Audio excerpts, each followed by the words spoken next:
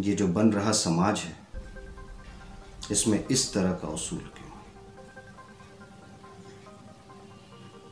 कि कोई हिंदू मुस्लिम इलाके में जाए या कोई मुस्लिम हिंदू इलाके में आए तो बचकर वापस न जाने मैं ये सोचता हूँ कि ये जो बन रहा समाज है, इसमें इस तरह का उसूल क्यों है? कि नफरत फैलाने वाले को ही है इजाज़त। कि जहाँ चाहे वो नफरत फैलाए।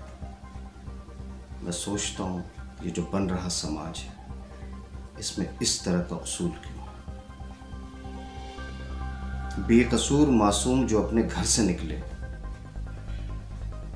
पलट के सही सलामत वापस न जाने पाए। मैं सोचता हूँ अगर यही है समाज तो फिर समाज क्या है?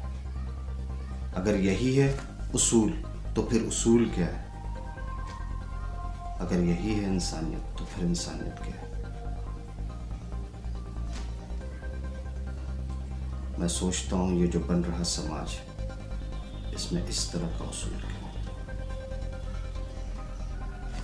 I support humanity and love are you